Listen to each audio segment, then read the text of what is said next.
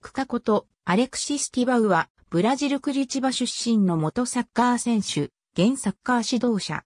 カンピオナートブラジレーロアトレチコミネーロ監督。元ブラジル代表。現役時代のポジションはフォワード。1984年に FC サンタクルスでプロとしてのキャリアをスタートさせる。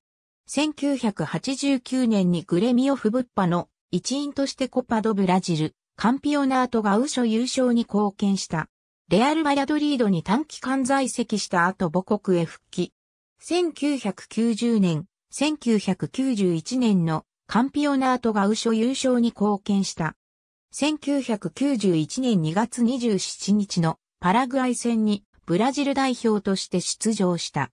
ウベルランジア EC で監督を務めた後、多数のクラブの監督を転々とした。2007年と2008年にボタフォゴ FR の監督としてタッサリオを制した。2008年8月11日にサントス FC の監督を解雇されたためにフルミネンス FC の監督に就任した。同年12月12日に CR フラメンゴの監督に就任。しかし、成績の低迷により2009年7月23日に解任。9月2日にレナトがウショを解任したフルミネンセの監督に再び就任した。